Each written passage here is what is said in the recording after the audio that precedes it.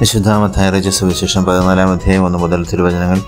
യോഹനാൻ കാരാഗ്രഹത്തിൽ അടയ്ക്കപ്പെട്ട ശേഷമാണ് യേശു തന്റെ ദൗത്യം ആരംഭിക്കുന്നത്. യേശുവിന്റെ മുന്നോടിയായ യോഹനാന്റെയും യേശുവിന്റെയും ജീവിതവും അന്ത്യവുമായിട്ട് വലിയ സാമ്യം തന്നെയുണ്ട്. യോഹന്നാൻ കാറ്റത്തുള്ളുന്ന ഒരു ഞാങ്ങണിയായിരുന്നെന്ന് യേശു സാക്ഷ്യപ്പെടുത്തുന്നു. ആരുടെയും മുഖം നോക്കാതെയും ആരെയും ഭയപ്പെടാതെയും സത്യം തുറന്നു പറയുന്ന ശക്തമായ ഒരു വ്യക്തിത്വത്തിന്റെ ഉടമയാണ് യോഹനാൻ അതിന് യോഹനാൻ ജീവൻ ബലിയായി നൽകേണ്ടി വന്നു. യേശുവിന്റെ മുന്നോടിയായ യോഹനാന്റെ അന്ത്യം തന്നെയാണ് യേശുവിനെയും കാത്തിരിക്കുക. യഹൂദ നേതൃത്വത്തിന്റെ തിന്മകളെ ചൂണ്ടിക്കാണിക്കുകയും അവരെ കുറ്റം വിധിക്കുകയും ചെയ്ത യേശുവിനെ യഹൂദർ ഉന്മൂലനം ചെയ്തു. പ്രവാചകന്മാരെ വധിച്ചവരുടെ സന്തതികളാണവർ. അതിന്റെ പൂർത്തീകരണമായി അവർ യേശുവിനെ വധിക്കുമെന്ന് മുൻകൂട്ടി യേശു പറയുന്നുണ്ട്.